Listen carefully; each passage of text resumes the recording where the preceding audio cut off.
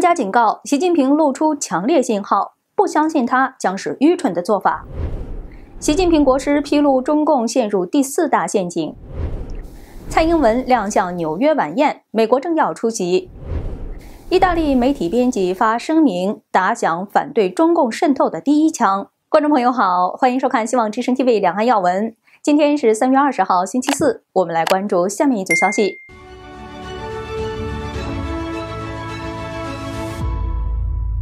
俄罗斯发出越来越强烈的核威胁。与此同时，由于中俄越来越被视为一个整体，专家们警告，俄乌战争可能与台海战争联动。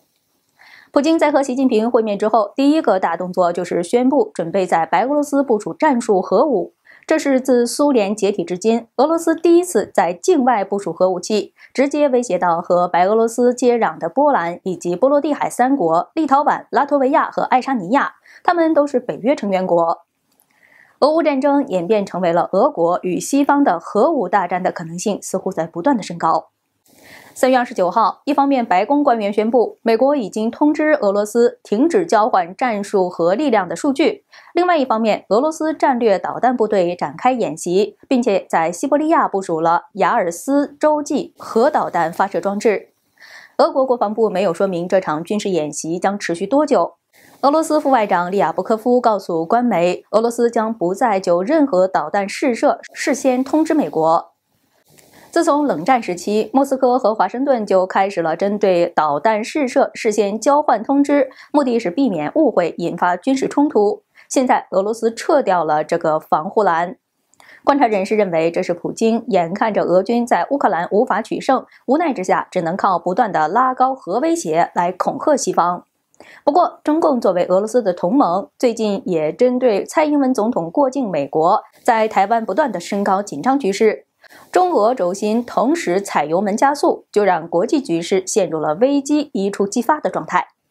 约瑟夫·博斯科曾担任美国国防部中国事务主任，他近日在国会山报撰文指出，习近平不只是考虑入侵台湾，他还明白攻台意味着向美国宣战。中美战争的火苗已经被习近平点燃，美国必须积极的采取行动来应对这个危险。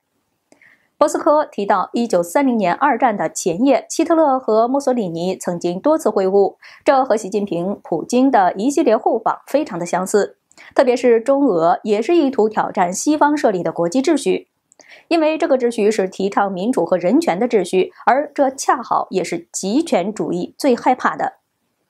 博斯科说，俄军每天在乌克兰犯下战争罪和反人类罪。中共同样犯下类似的罪行，甚至被川普和拜登政府定性为犯有种族灭绝罪行。在援助普京的同时，习近平其实也让世界警醒，让世人意识到中共政权的邪恶本质。博斯科认为，随着俄罗斯闪电战的失败，习近平对俄乌战争战略预期也发生了变化。普京最新的军事部署不再追求迅速取得胜利，而是主要针对平民和重要的基础设施，希望通过大量的伤亡削弱乌克兰的意志，更要削弱拜登政府和西方的决心。随着武器和弹药库存消耗速度越来越快，西方政府开始表现出厌战的迹象。而习近平似乎有意让普京继续这场战争，无论有多少俄罗斯人和乌克兰人不得不付出生命的代价。习近平认为，也许在未来的一两年之内，当中国决定对台湾出手的时候，西方的实力将已经被削弱。博斯科提醒，面对中俄对世界的威胁，美国必须挺身而出。除了更积极的和北约一起支援乌克兰之外，博斯科提出，拜登政府应对中俄双重挑战的另外一个方法，就是要摒弃对台湾的战略模糊政策，并且明确的承诺保卫台湾。必须让中共明白，入侵台湾将意味着与美国开战，否则美国或将被中共的野心吞噬。巧合的是，刚刚出版的美国外交事务期刊刊登由《华盛顿邮报》驻京记者潘文及前美国副国家安全顾问伯明联名撰写的文章，指习近平正为战争做准备。两位作者强调，习近平在今年两会期间四次提出为开战做好准备，加上中共军费大幅度的提高，并且加速有关战争的立法，在沿海城市建造防空洞，以及在全国范围内新建国防动员办公室。作者认为，如果习近平说自己正在为战争做准备，不相信他的话将是愚蠢的做法。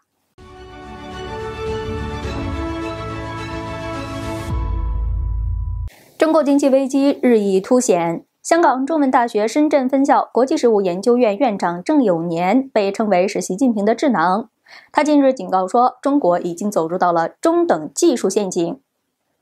综合大陆媒体的报道，郑永年三月二十六号参加了中国发展高层论坛二零二三年年会时表示，中共领导下的中国已经走到了技术红利消耗殆尽的边缘，正面临着中等技术陷阱。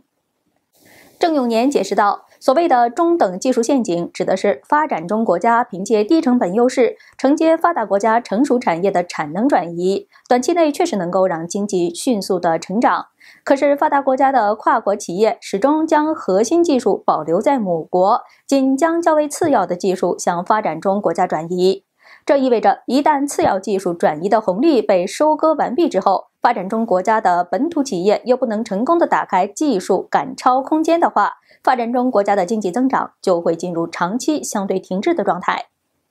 郑永年说，想要跨越中等技术陷阱，需要满足三个必要条件：第一个，必须创立大批能够从事基础科研的大学与机构；第二个是必须有大批能够把基础科研转化成应用技术的国有或民营企业与机构；第三个是必须拥有支撑基础科研跟应用技术转化的金融体系。郑永年还透露了一些细节，包括他有一次跟浙江省商务代表团去西北某省访问，发现两个省之间的谈判甚至比两个国家的谈判都要困难，遇到了许多行政阻隔。专家学者过去曾提到，中共政权危机陷入了塔西佗陷阱，中美关系陷入了修昔底德陷阱，及中国社会掉入了中等收入陷阱。现在郑永年再跳出来警告，中共正在面临第四大陷阱，恐怕和另外三大陷阱一样难以跨越。这引发了外界热烈的讨论。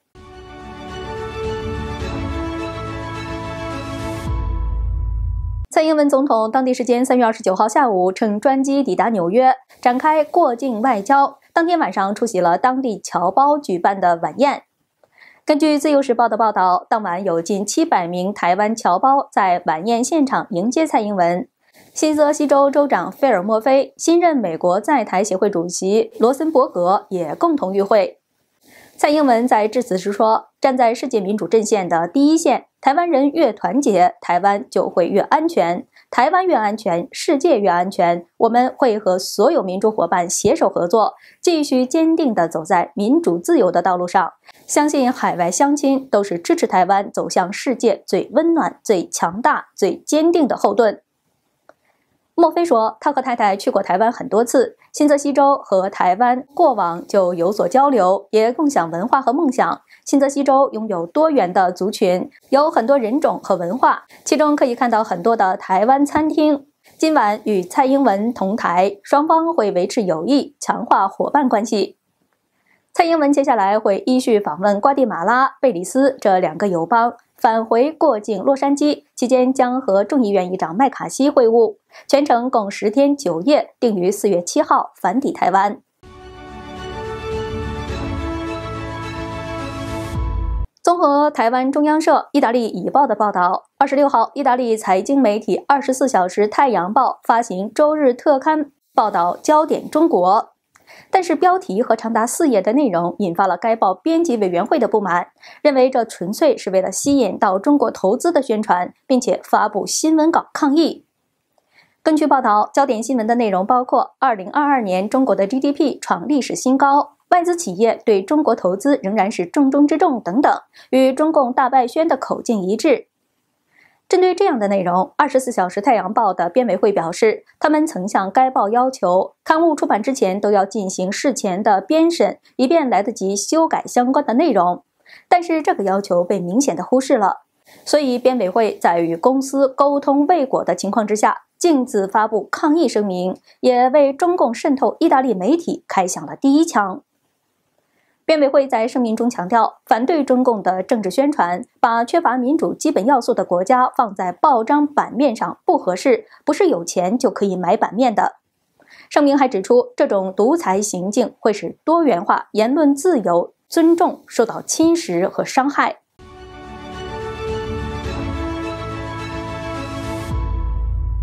以上就是今天的节目内容。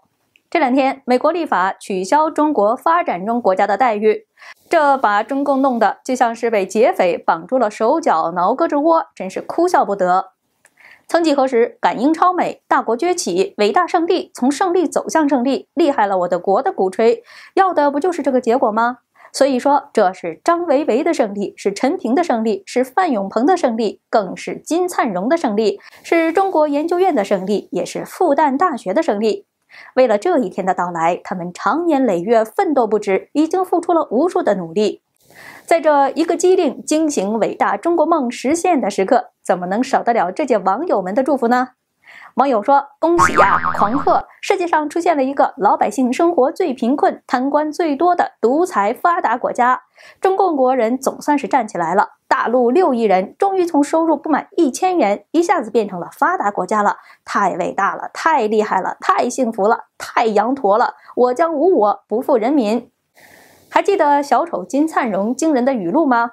民主是毒药，是邪教，双赢就是中国赢两次。”共赢就是共产党赢，合作就是合计把美国做掉。现在我们蹲下来都比日本高了，没有办法韬光养晦了。再讲韬光养晦，就是自欺欺人了。二十年后，世界上只有两个国家，一个是中国，一个是外国。不知道如今金灿荣会不会因为中国成为发达国家而获得党国特别鼓吹大奖？但是金灿荣说的二十年后的预言是提早的实现了。只不过，如今世界上的两个国家，一个是中国，另一个是抗中国。对于今天的话题，您有什么样的看法呢？欢迎在留言区说一说。在此向您报告，静一说事儿更新了《没有理想的人不伤心》节目，欢迎您前去观看、点赞支持。如果您喜欢我们的节目，担心错过精彩内容，那么您可以在留言区留下您的电子邮箱，我们会第一时间把节目更新传送给您。谢谢您的收看，我们下期见。Thank you.